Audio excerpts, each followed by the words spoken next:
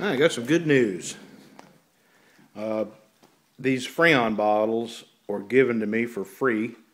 Uh, they were at a service station locally here where I live, and uh, I drove by there the other day, and he had, you know, a dozen of these sitting out, and I called him and said, "What you gonna do with them?" And he said, "You want them?" I said, "I like a few of them." He said, "Come get all you want." Gave them to me, so I got five of them, and these are just absolutely the perfect size for a rocket stove. The one I built, uh, it probably weighs about 120 pounds. It's just too heavy to be portable, so, but it's fine. I don't plan on moving it or carrying it with me anywhere, so that's just fine. But I'm going to make some more rocket stoves. I'm to make two more. Uh, actually, I'm making three, but one of them's going to a friend of mine down in Florida.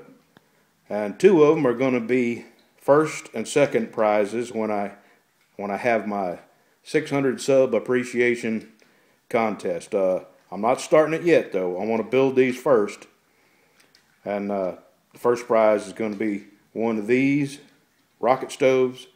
And uh, my wife is a quilter, and she does everything by hand: hand piece them, hand sew them, and hand quilts them. And uh, it's second. The first prize is going to be one of these rocket stoves and a and a handmade quilt that my wife made. The second prize would just be a rocket stove. But I'm not going to do that until I get these built. And uh, with me having to start this new job Thursday, by the way, I actually get in the truck and get to work Thursday morning. But uh, I got to gather a couple more parts for these, and uh, then I can make three of them all the same.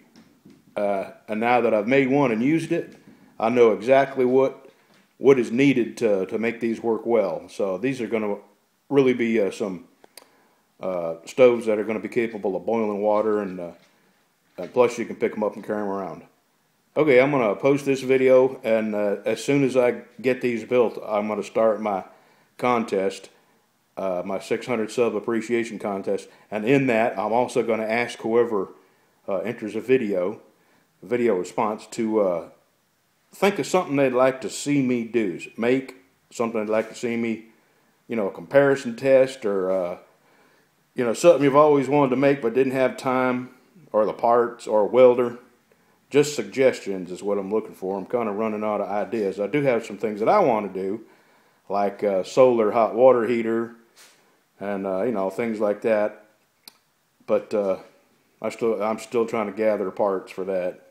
Actually, I don't have anything for that yet, but I'm always on the lookout. And what I need is a big chest freezer that doesn't work for free, somebody giving away, and uh, a water heater that hasn't sprung a leak in the tank. So anyway, I'm going to put this video up. Thanks.